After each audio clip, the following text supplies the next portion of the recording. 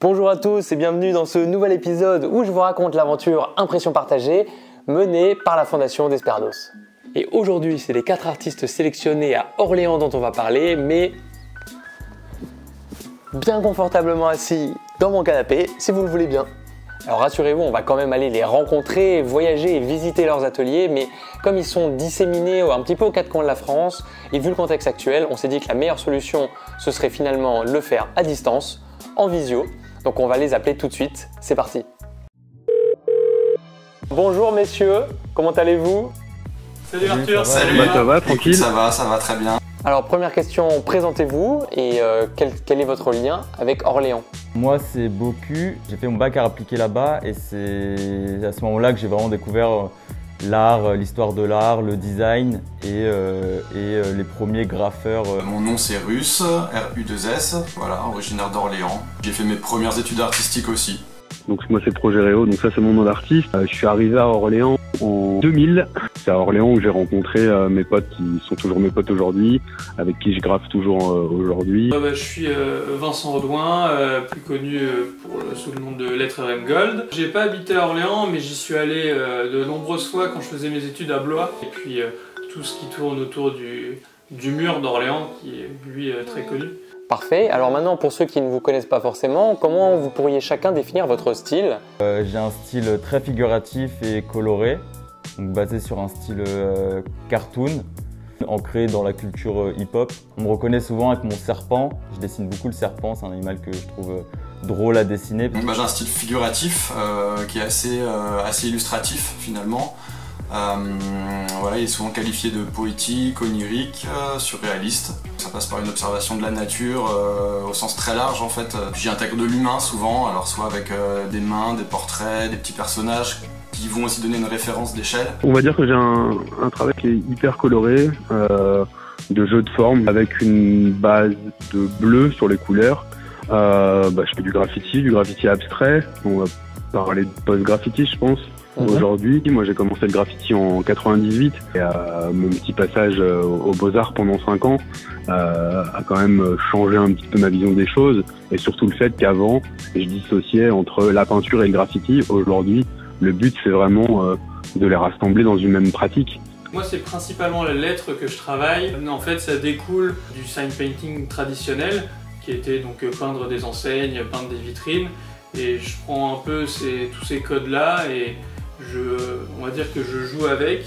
Et ouais, mon, mon outil principal, c'est ouais, c'est la, c'est la lettre, pas tant graffiti, mais vraiment plus euh, la belle lettre dessinée, si on peut l'appeler comme ça. Alors on va faire un petit exercice maintenant. Est-ce que vous pouvez aller, s'il vous plaît, sur votre compte Instagram, me trouver un ou deux visuels qui, d'après vous, sont un peu emblématiques euh, de votre travail et me les commenter, me les expliquer? C'est un- c'est plus du dessin, c'est sur papier, donc c'est des expérimentations euh, de nature morte. Et c'est pas des, légumes ou des fruits, ce sont des objets que je vois dans la rue, extincteurs, des pinces, un, un univers assez lié au, au graffiti. Et ensuite, je viens les dégrader par des ajouts de blanc, de noir. Le style figuratif vient se fondre dans un style plus abstrait au fur et à mesure. C'est le mur que j'ai fait pour le festival Muralis à Dax. Ça part d'un sol un peu qui paraît un peu désertique, mais ça peut être vu aussi comme un, comme un début de vie finalement. Et en fait, surtout, j'avais conscience de peindre sur un petit HLM. Pour moi, ça représente euh, des habitations imbriquées, un peu les uns les unes dans les autres, des petites maisons emboîtées. Et c'est un peu ce que j'ai voulu représenter, euh, même si euh, d'aspect toutes ces maisons paraissent similaires. à l'intérieur, elles ont toutes leur petit monde, leur petit univers, leur petit cosmos en fait. Toujours ce côté un peu plus abstrait en bas, un peu plus informel, mais vivant, organique, que ça suscite un peu l'imaginaire quoi. Et j'étais pas mal inspiré par une, église de pêcheurs dans un village de Normandie où j'ai passé mes vacances, une église de la reconstruction tout en bois, qui était euh, entièrement euh, recouverte à 80% de vitraux. Une espèce de composition euh, très très abstraite où à l'intérieur je vais euh, interpréter en fait euh, les codes du, du graffiti euh, euh, un à un, une fissure, une light, un surcontour. Euh, en fait, tous ces codes-là du graffiti, euh, tout ce que tout ce que je n'ai pas aimé il y a 20 ans, tout ce qui est obligatoire pour faire partie de ce mouvement euh, à l'esprit un petit peu serré de temps en temps euh, et les amener dans de la peinture. Il y en a une que j'ai faite pour un barbier. Ils m'ont laissé carte blanche en fait euh, pour leur troisième salon et j'ai pu vraiment m'amuser avec les matières, les, les couleurs, mettre de l'or un peu partout sous Ouais. différentes formes, vraiment m'éclater avec Ah ouais. le dessin des lettrages et la réalisation ensuite peinte euh, à la main sur place. Merci messieurs, on va continuer très vite euh, ces discussions autour de votre travail, mais d'abord j'ai les deux fondateurs du Mur Orléans en ligne. Comment allez-vous? Salut, ça va bien, ça va bien. Je m'appelle Jean-Michel Ouvry et je suis Ludovic Bourreau, donc on a créé le, le Mur Orléans tous les deux avec Jean-Michel euh, il y a 4 ans maintenant. Et alors il est où ce mur? On y. Oui, dans un, dans un quartier populaire, c'est fondamental, sur un lieu phare de la scène culturelle, culturelle orléanaise, c'est le cinéma RSS, cinéma Les Carmes. Et puis le, ce qui est intéressant, c'est qu'il y a beaucoup de recul et on est le long d'une ligne de tram. Les habitants qui passent dans le tram peuvent avoir un aperçu euh, d'une fresque murale euh, régulièrement différente. Super. Et euh, donc les, les quatre artistes, comment vous les avez choisis? C'était hyper intéressant sur ce projet-là. Euh, c'est- les contraintes en fait. Il y a des artistes émergents euh, qui ont un lien avec Orléans. Et fouiller dans, avec toutes ces contraintes-là dans des, dans des artistes qu'on avait envie de présenter et puis euh, dont on estime que leur travail est- répond à cette notion de- d'exigence. Ok, ok, très bien, génial. Euh, Est-ce que vous pourriez me montrer un petit peu sur quoi vous êtes en train de travailler en ce moment? Donc, ce sont euh, ce que je parle de, de dégradation. Mais en fait, là, c'est une, nature morte. Ça s'appelle euh, Tréteau dans le métro. Donc, c'est une mise en scène du tréteau et des montres qui ne sont pas contentes.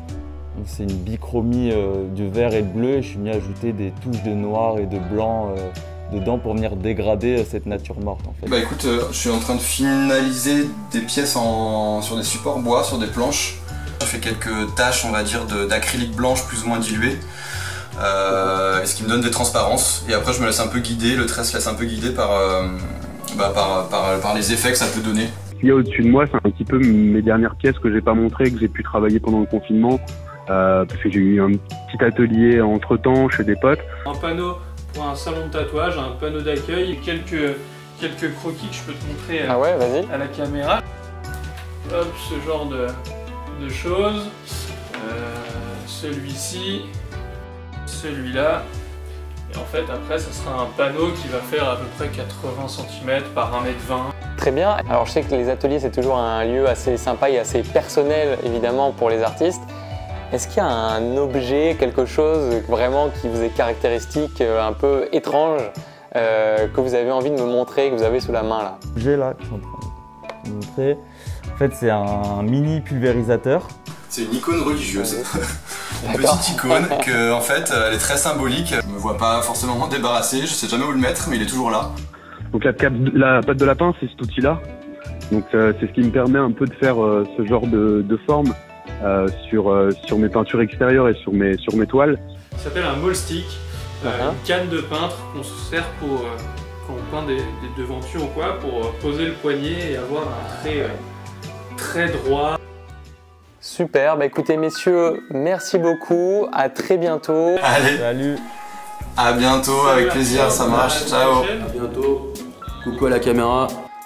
Voilà, on a terminé pour cet épisode spécial Orléans, spécial euh, visio à distance. J'espère malgré tout que vous avez apprécié découvrir leurs univers, leur travail, leurs ateliers.